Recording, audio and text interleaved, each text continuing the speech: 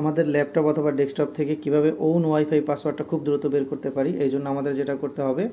Windows আর button press করতে হবে সিএমডিতে ঢুকতে হবে, এখানে লিখতে হবে এন ইটি এস এইচ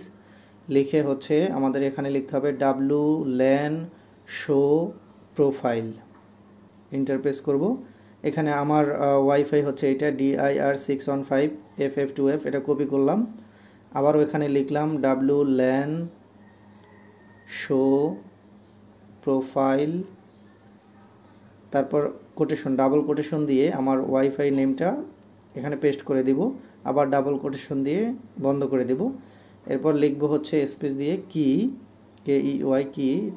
সমান সমান লিখব ক্লিয়ার লিখে ইন্টারপ্রেস করব। দেখেন, এটা হচ্ছে আমার wifi password zero eight three seven one double seven five আমি চেঞ্জ করিনি, এই জন্য। Thank you guys